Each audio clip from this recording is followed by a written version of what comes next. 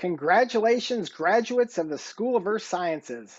I am Professor Steven Lower, the director of our wonderful school. The past two years have certainly been a challenging time.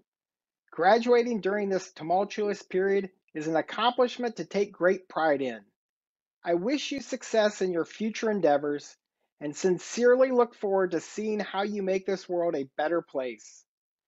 As newly minted alumni, I am thrilled to have you join our list of distinguished graduates that is over a century long.